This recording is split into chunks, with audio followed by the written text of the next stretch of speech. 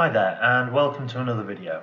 So in this video we're going to talk about how to optimize your viewport and more specifically how to uh, down res your textures and materials so that large scenes can fit into your viewport quite easily. So there's a really simple way to do this and I've just found this out so all we need to do is go up to renderer and under viewport 2.0 click the little option box there so you'll notice here maximum texture resolution clamping.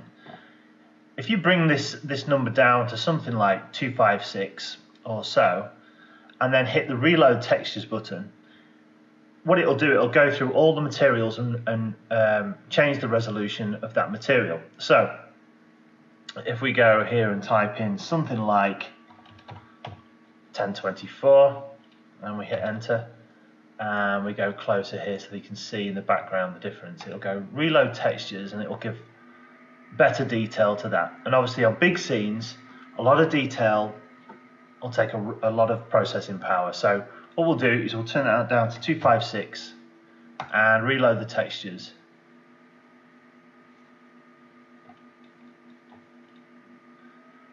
And you see there that it's reload them all in and now we'll be able to have much bigger scenes and have a lot of texture and material resolution, uh, much less texture and resolution on the screen at one time to avoid crashes. All right, thanks very much for watching. Cheers.